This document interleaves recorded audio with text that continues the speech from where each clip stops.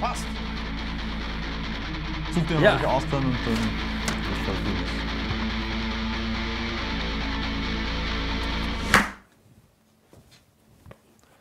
Oder? Howdy, Partner. Ah. So, QA. Folge however many. however many. Fünf. Schau, neu und kennt sich schon besser aus. Aha. So, der Rudolf Stolz. Der Rudi, Shoutout. Das ist ein cooler Name. Ähm, Ja, ein cooler was, Dude. was, äh, woher kennst du den, Rudi? Ähm, das ist ein Freund von meiner Freundin. Also ich kenne ihn über die, die Paula, The, the Young People. die Young People. Cool. Aber er spielt Bass. Nicht Dann in einer. Band, soweit ich weiß. Aber Rudi ist available for for leasing, hire. for hire. Der fragt uns, was steht in eurer Gym-Playlist ganz oben, beziehungsweise was ist euer Treadmill-Song? Ich höre ehrlich gesagt kaum Metal im Gym. Ich höre Hip-Hop im Gym. Etwas weniger BPM. Das ist für die für die Raps und die Schritte ist das für, für mein langsames Tempo ein bisschen besser. Und Okay. da ähm, Can't Be Stopped Roy Jones Jr.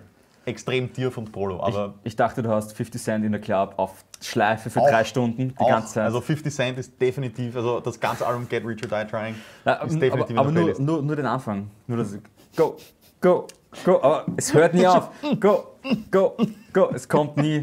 Der Schadi kommt nie. Schadi kommt nie. Sorry. Okay? Nein, also es ist, es ist ähm, ja, zu, zu, zu Gent irgendwie versuchen, ein Lauftempo zu halten, das geht nicht, weil mich da stolpert es dann irgendwie, weil ich mit dem Kick mitmache und dann da würfelt es mich. Ähm, Treadmill, also ich mache nicht viel Treadmill, muss ich sagen. Ich gehe laufen. Das, das mache ich. Ich liebe Laufen. Ich mag äh, Fitness im Gym. Ich habe es vor der Quarantäne eben mit immer mit Buch. Ich habe gelesen auf der Treadmill und dazu halt irgendwelche ähm, Ach so, das ist irgendwelche abgestellt. Ja, ich habe es abgestellt, auf der Treadmill abgestellt oder auf dem, auf dem meistens auf dem Fahrrad. Ähm, Mhm. Und dazu halt irgendwelche Instrumentalgeschichten, die nicht zu challenging sind. Ja, also na, irgendwas, wenn ist es, ist es recht was straightforward, genau. nicht zu viel BPM. Beim Laufen äh, Lamb of God. Alles, was Lamb of God ist, weil das, die haben irgendwie ein Tempo, das ich sehr cool finde fürs Laufen. Also, Aber es, es stimmt, ich habe, ich hab, wenn, ich, wenn ich Metal höre und ich, ich, ich sitze auch mehr am, am, am Rad im Gym, ähm, eben diese, diese, sagen wir mal, Groove-Metal-Geschichten, ähm, Mhm. ob, ob jetzt Lamb of God, Maschine, Devil Driver, sowas, das ist auch ja, eher... das, diese, diese, diese, nicht, bei Lamb of God ist es wirklich der, jedes Mal, also ich liebe zum Beispiel das. ist das, es, weil der Randy Blythe auch rennt, bevor er seine Vocals Ja, ja, wahrscheinlich ist es das. Na, der, der Late to Rest zum Beispiel, das Album oder, oder As the Palaces Burn, es ist einfach. Es ist dieser, dieser keine Ahnung, der Rhythmus. Nein, es, Dann es hat, hat ein, ein, Scheißbecken vom, vom Adler. Das, Eben, das, es muss irgendeine Regelmäßigkeit drin sein und etwas, was, was dich fort.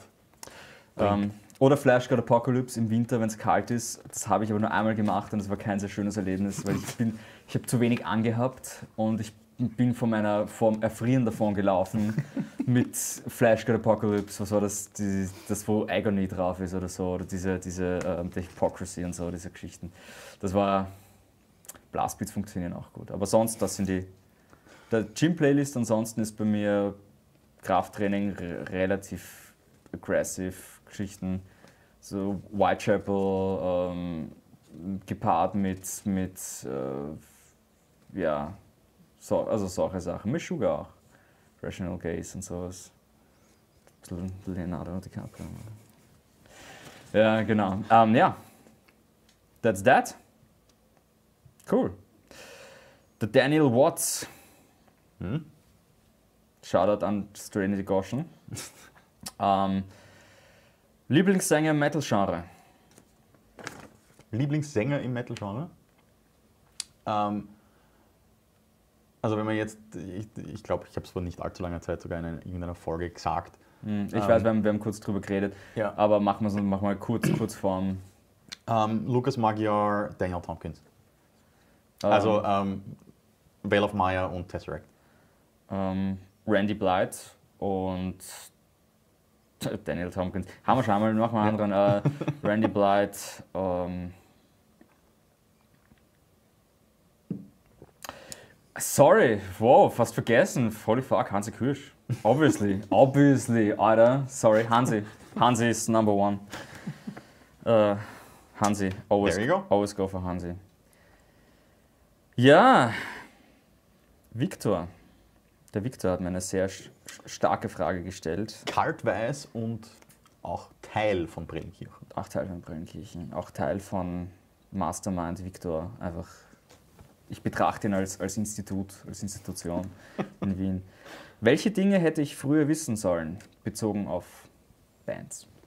Bezogen auf Bands und auf, auf ähm, also in einer Band sein und First Regrets und sowas ein bisschen. Ja, also generell, generell was, was glaube ich, für mich eine, eine als Nicht-Band-Member oder Musiker ähm, so ein Aha-Erlebnis war, ist, nur weil man Europatour spielt, heißt es nicht, dass du von Musik leben kannst.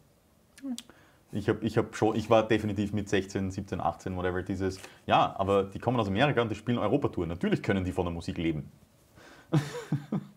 Die haben sich nicht einfach zwei Wochen freigenommen und fliegen her und haben das alles DIY gemacht. Nein, nein, nein, das ist ein Label und alles. Voll. Das Label zahlt den Mercedes Sprinter.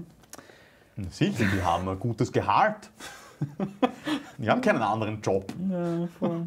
Ähm, ich glaube, das war das Wichtigste. Ähm, und das andere ist, Leute sind mehr approachable, wie man meinen würde. Hm. Ähm, sind genauso wie alle anderen einfach ganz normale Menschen, die sich freuen, wenn jemand sagt, hey, das, was du machst, ist cool. Ähm, und sind auch happy, wenn man, wenn man mal mit ihnen reden möchte, egal über welches Thema. Mhm. Mhm. mhm. Ja, ähm, bei mir. Ähm, weniger, weniger, äh, gar kein Konkurrenzdenken. Von Anfang an Hm. das weglassen. Und Skill ist nicht alles. Skill ist sehr wenig. Skill ist so viel, so viel Skill herausmacht, so wenig ist es, wenn du als Person ähm, einfach ein Asshole bist. Also bei mir wäre es, was ich früher hätte wissen sollen, don't be a fucking dick. Und sei kein, sei kein Rockstar, wenn du, wenn du, wenn es dir nicht zusteht, Mhm. einer zu sein. Also wenn du noch nichts abgeliefert hast. Ansonsten, I don't know. Ich glaube, das war, ich glaube, das ist das Wichtigste, was ich weiß. ähm, doch, sich mit Gear auseinanderzusetzen. Sich mit Gear auseinanderzusetzen, rechtzeitig und am, am Puls bleiben und äh, so Aber- viel wie möglich selber lernen können. Sicher, aber auch, und das, das, das, das sage ich jetzt eher, ich, meine, ich glaube, das kann man eh generalisieren, das sage ich jetzt eher als Foto-Video-Mensch. Ähm, Gear ist nicht alles, Gear macht dich nicht besser. Ähm, man, man, man, ich habe mich, zum Beispiel jetzt setze ich mich sehr viel auseinander mit Gear, das ich mir nicht leisten kann. Mhm.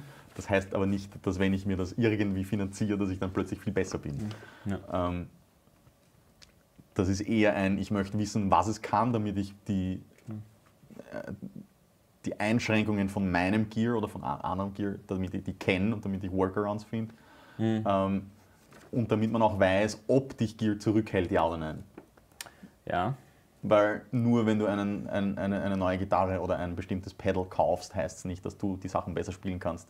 Oder dass dein Sound auch besser wird. Vielleicht hört er sich genauso crappy an, weil du es immer noch nicht gescheit Ja. einstellen kannst. Ja, das, das auch. Ähm, voll. Also Deswegen ist Auseinandersetzen das Wichtige und nicht einfach kaufen. Ja, nicht einfach kaufen, auseinandersetzen. Ähm, eine Sache ist mir noch eingefallen. Success in Musik ist absolutely possible. Ähm, aber Consistency brauchst du und du brauchst einen Plan. Ähm, aber es ist absolut possible. Das ist ein Mindset, das ich nicht gehabt habe am Anfang. Ich dachte, es kommt aus Zufall oder aus, äh, wenn du gut genug bist, so maybe you become a Rockstar. Nein, ähm, planen, Networking, do something, fühl den Puls der Zeit, schau, was geht, schau, was die Leute hören. Es gibt Musikrichtungen, die werden es nicht reißen im Moment und es gibt Richtungen im Metal, die werden es sehr viel reißen. Ähm, aber erwarte das, was du rausgibst. Stelle Sound ist schon mega Philosopher, der, der Philosopher, nein. Ähm, aber mehr oder weniger mein Jugendding, so, yeah, Tally Kurt playing Bass und irgendwann entdeckt mich wer. Well, es sind, es, sind, es, sind, ja, es sind, generell sehr viele so Label Scouts unterwegs. Ja, genau, weltweit. genau, für, für ähm, Nuclear Blast hat es nicht, nicht gehört. Aber dem Moment, wo ich, wo ich angefangen habe, Ziele, Ziele mit Nägel mit Köpfen zu machen, ist es auch, sind auch wirklich Dinge passiert, wo ich weiß, okay, oh shit, ja, funktioniert.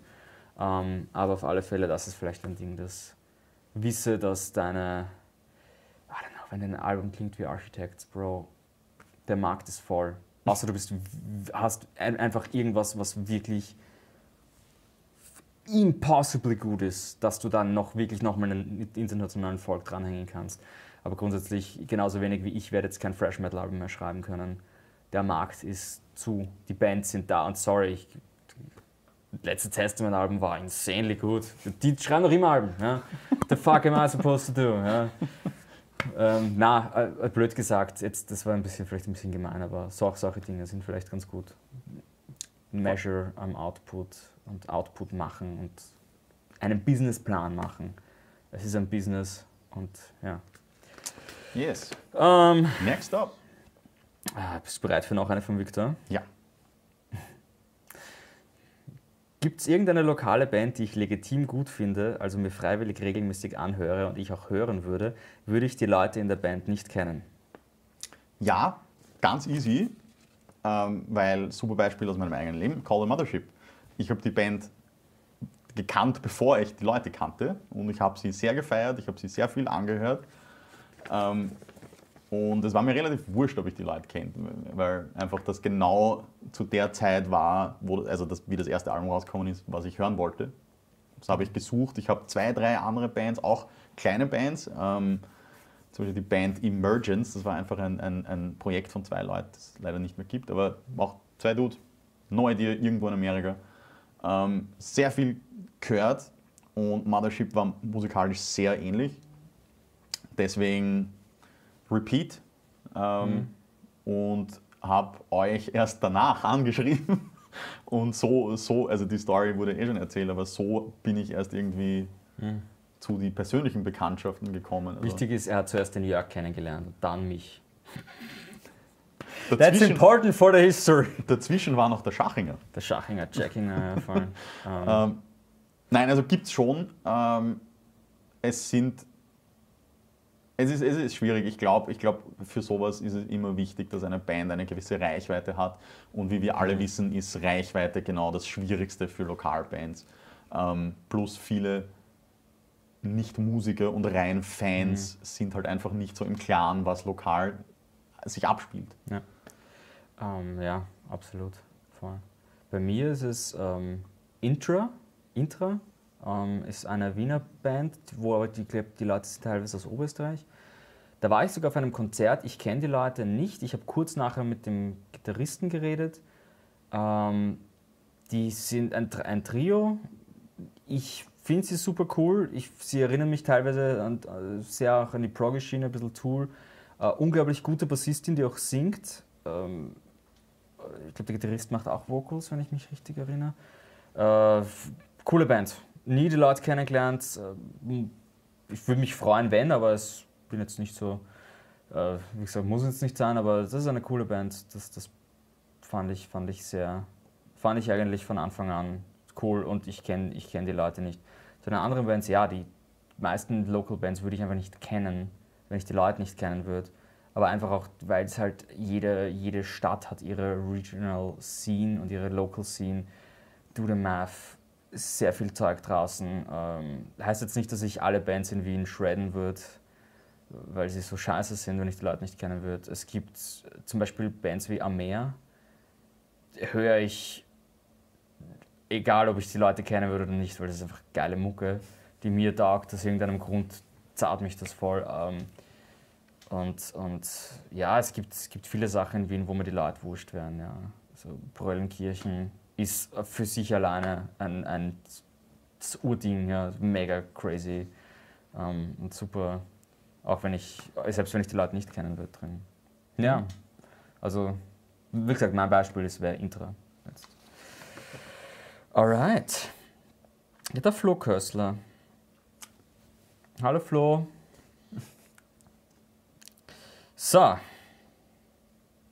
Willst du, willst du Easy Game oder Hard Level? Flo-Frage. Hit me. Alrighty then. genau. Wir sind nicht für Gewalt. Ähm, wieso gibt es in der Metal-Szene gefühlt mehr Belästigungsvorwürfe und mehr Vorwürfe von Sex mit Minderjährigen, vor allem bezogen auf Bandmitglieder als in anderen Genres wie zum Beispiel Pop, Rap etc.? Ich muss ehrlich sagen, ich bin, ich, ich bin einfach anderer Meinung. Ich glaube ich glaub ehrlich gesagt nicht, dass es im Metal jetzt zum Beispiel mehr ist als im Rap. Ich glaube auch nicht, ich stimme dir vollkommen zu. Ich glaube, das ist im, im Pop und im. Nein, ähm, im, im, im, im Pop schätze ich einmal, dass es mehr gibt, aber nicht ausgesprochen, ja. weil einfach da ja. die Industrie mehr dahinter ist, die, sagen wir mal, auf, auf, auf Weinstein-Level ja. ähm, Leute irgendwie. Hashtag, aber ich meine, das sind alles Vermutungen. Hashtag Epstein didn't kill himself. Ja, voll. Also ich meine, das, das, das kann ich nur vermuten, aber, ja. aber zum, zumindest rein von der Berichterstattung würde ich jetzt im, im, im Hip-Hop oder Rap das mindestens genauso machen. Beziehungsweise ja. da ist einfach. Würdest du es genauso machen im Rap? genau. Goddammit. Warte. Ähm, gotcha. Ja, voll. ähm, na, also genau, genau so viel sehen ja, wie im Metal, wenn nicht mehr, weil ich glaube einfach generell Sex und, und, und ähm, halt Objectification, Objektivizierung, I don't know, ja, ist das ein Wort? Weil das einfach, ja. einfach viel mehr ein Ding ist in dem Genre und in den Lyrics und, und mhm. in, in, dem, in dem Lifestyle, der dazugehört. Deswegen ja. würde ich das dort viel, also zumindest mein, meine Erfahrung ist, dass es mehr ist. Aber ich ich, ich würde es auch, einfach dadurch, dass Metal ist zwar groß, aber Pop und Rap sind größer als, als Strömungen und haben eine größere Fanbase. Es gibt, und die Pop-Größen sind nochmal anders groß als, als Metal-Größen. Und ja, es gibt sicher, es gibt Fälle im Metal, wo ich mal denke, bist du wahnsinnig. Und da spielt sicher rein, Groupietum ist im, ist im Rock und Metal sehr, sehr stark verankert. Klar. Aber ich wüsste jetzt nicht, dass es mehr ist als in den anderen Genres. Ähm, also da, da weiß ich, bin, ich, bin ich eigentlich voll deiner Meinung. Ja. Ähm, Egal welches Genre, es ist natürlich falsch und hat generell nichts verloren in unserer Gesellschaft. Ja, also das, das ja, Leute, die das machen, sind fucking scum. Ja. Also, no excuse. Um, I, I, don't care, also wurscht was, I don't care about, I didn't know she was 16. Bro, keep your dick in, fuck it. Es ist, uh, it's someone's daughter and she's a person und, und fuck it. Oder he's a person, wie gesagt, genauso, ja. both, both ways, ja. Ähm, aber wie gesagt, ich, ich finde jetzt auch nicht, dass das irgendwie. Alright, nachher noch eine von Flo. Hm? Was denkt ihr, wieso viele Leute sich mit der Zeit immer mehr für härtere oder technischere Metallstile, Metal-Stile, Metallstile, Metallstile, äh, Germanistikstudent, mhm. ja, abgeschlossen. So, nochmal, was denkt ihr, wieso viele Leute sich mit der Zeit immer mehr für härtere oder technischere Metal-Stile interessieren? Und glaubt ihr, dass eben diese Stilrichtungen irgendwann auch mehr im Mainstream ankommen. Wird nicht mehr im Mainstream ankommen. Ähm, plus, ich glaube, das ist auch einfach so ein, ein, ähm, ein, ein, ein, etwas verzeichnet, weil man es selber erlebt. Ja. Ich meine, ja, ich habe auch angefangen mit Nu Metal und dann wird es immer, immer mhm. härter, weil, man, weil, weil irgendwann das normalisiert und dann ist das, was härter ist, ist extremer und das ist was Neues und ja. oh, Ärger. Aber ich glaube, wenn man jetzt mal einen, einen, einen Schritt zurücknimmt und auf, auf, auf breiterer Ebene schaut, glaube ich nicht, dass die härteren Subgenres populärer werden, weil sie einfach nicht so breit sind. Glaube ich auch nicht. Und technischer glaube ich auch nicht, weil ja, die Leute feiern Orgesachen, aber ich mache mir keine Illusionen, dass jetzt Tech-Death-Bands auf einmal Mainstream werden weil die Leute sind teilweise eingeschüchtert davon und andererseits verstehen sie es nicht, beziehungsweise ist es halt einfach zu viel Input. Und wer hört Tech Dev? Meistens nein, Leute, die selber nein, irgendwie, irgendwie drinnen sind. Ich, ja. ich, ich, meine, ähm, sagen wir mal, Linkin Park ist sicher eine Gateway-Band zu härtere Sachen, ja, ja. aber es werden trotzdem von allen Linkin Park-Fans nur ein Teil abspalten zu härtere, technischere Sachen. Und ich meine, ich höre gern, hör gern technisches Zeug. Aber ich merke auch, dass ich, dass ich oft auch Phasen habe, wo ich, I don't know, fucking Nightwish höre. Beziehungsweise einfach auch ein, chill. ein, ein gutes Beispiel. Ähm, mein Freundeskreis in Holland, äh, da haben wir sehr viel Dream Theater gehört und halt dieses, dieses Prog Rock, Prog Metal, gerade auf der Schiene, äh, also auf der, auf, auf der Grenze davon. Ähm, da sind einige, so wie ich, dann, dann auch in die noch härteren technischen Sachen gegangen. Es sind auch einige Leute in die andere Richtung Ja. gegangen und sich nur mehr Prog Rock angehört, weil ihnen Dream Theater zu hart geworden ist. Gibt's auch. Also ich, ich spiele mehr technisches Zeug, als ich tatsächlich höre, glaube ich. Weil es einfach, ich bin dazu gekommen auf einem, okay, I wanna play more. Dann habe ich gesehen, okay, there is more. Und jetzt bin ich so, oh shit, wäre ich bloß bei fucking Thrash Metal geblieben. Ja. äh, I make Power Metal Band? Ist Zu spät.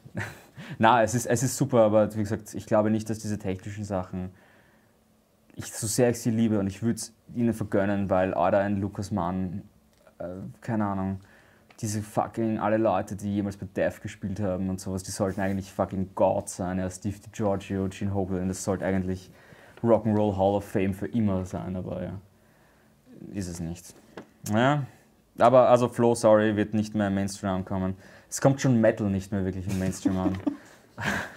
ähm, That Metallica Money wird wird so nicht mehr geben, ja. Da, wird, da müssen wir uns irgendwas anderes einfallen lassen.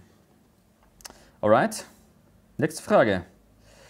Uh, ha, der Martin, der Le Ramizu, der Tiramisu, Ramizu Martin. Ähm, ich habe alles, alle, die ich kenne, die mir jetzt eingefallen sind. Sorry, Martin, ich habe fix eine vergessen. Ähm, oder wie ich ihn kenne, der Ernsti. Ja, na, der Martin, ähm, ein guter Freund von mir von früher, mit meiner ersten Death Metal Band gespielt zusammen. Shoutout, äh, früher bei Skydown gespielt. Ja, wurscht, you know who you are. Äh, Frage von ihm. Wie viel Einfluss haben Social Justice Warriors eurer Meinung nach auf die Kreativität der Zukunft? Wird der Kunst ein Maulkorb aufgesetzt werden? ist, ist, wird, glaube ich, schon irgendwie einen Einfluss haben, aber also auch sehr die Frage, in, ähm, in welcher Kunstrichtung man unterwegs ist, beziehungsweise nicht nur Kunstrichtung, sondern auch wie viel Geld dahinter steckt. Ähm, und dann ist die Frage, ist es dann eher ein, eine Entscheidung des Geldes oder ist es wirklich etwas, was, was ein Social Justice Warrior ähm, bewirkt hat? Weil ich glaube, im Metal wird es nicht sonderbar viel reißen, äh, wenn ich ehrlich bin. Es ist nicht, nicht, nicht groß genug. Es wird, es, wie oft heißt es nicht, oh, ähm, die, die, die, die klassischen Norwegian Black Metal Bands zünden Kirchen an. Und ja, das war natürlich ein Outrage und da hätte es, wenn das jetzt wäre, sicherlich auch irgendwelche so Social Justice Warriors geben, aber wie viele Leute hören das? Wie viele Leute sind da dann offended? Ja, beziehungsweise, ja, das, da wird auch dann kein Markup aufgesetzt, weil, wie man gesehen hat, am Beispiel von, uh, ich kann es nicht aussprechen. Migla? Nein. Mygwa. Mygwa. Ich glaube Mygwa. M-G-L-A. Ähm, dass die Leute trotzdem äh, keine klaren Statements rausbringen können und dass die Leute trotzdem, auch wenn sie unter Pressure geraten, lassen sich halt keinen Maulkorb aufsetzen und, und äh, die Community rettet sie halt dann trotzdem irgendwie. Manchmal for the better, manchmal for the worse, muss ich dazu sagen. Also gerade was Black Metal angeht. Often for the worse. Uh, you all need to clean your fucking Nazis out of your cellar. Sorry. Ähm, und ich glaube halt, der Rest von Metal, ich habe schon lange nichts mehr Kontroverses gesehen von Metal, dass irgendwer einen Maulkorb verdient hätte. Oder wo ich überhaupt überlegt, weil, sorry, irgendwelche, ja, okay, da ist Murder. Ja, aber ich äh, meine, es gibt ja genug immer dieses, oh, Metal hören nur Satanisten, Ja, wo, wo ein, ein Social Justice Warrior irgendwie aufspringen kann und dass sie nicht so inklusiv sind, weil wie viele ähm, nicht weiße Personen gibt es in Metal-Bands und, Ja. und sowas. Ich, meine, I don't know. ich, ich glaube, im Metal ist es einfach nicht so relevant.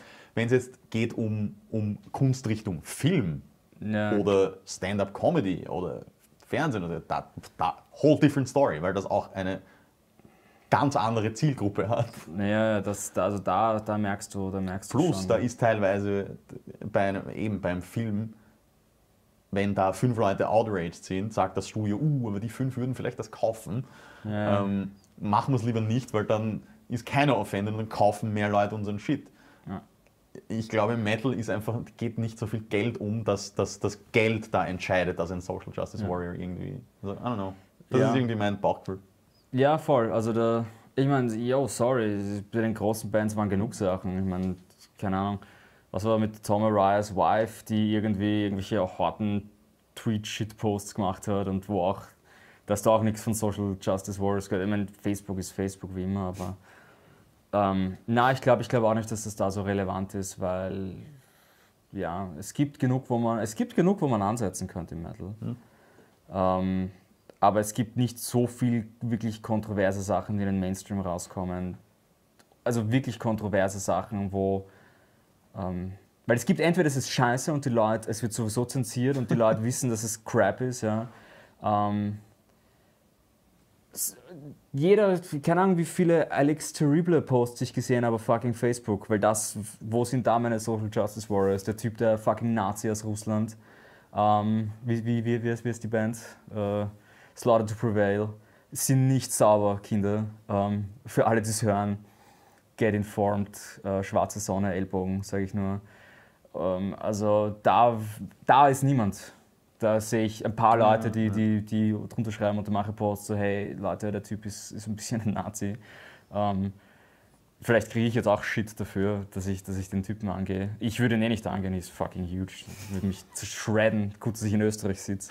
Please stay in Russia, don't visit me. Ähm, aber das, da ist zum Beispiel, da, da sehe ich nichts. Nothing. Ich meine, der wird sogar von Sumerian oder keine Ahnung was. Und die scheißen sich auch nichts. Also ich sehe es im Metal nicht so, das mit den Social Justice Yes. Warren. Alle anderen Sachen, ja. Haben wir noch ein paar kurze? Ein paar kurze. Äh, ähm. Machen wir die vom Jörg, oder? Die ist schön. Ist kurz oder lang. Der Jörg darf jetzt auch Fragen stellen. Ist das nicht schön?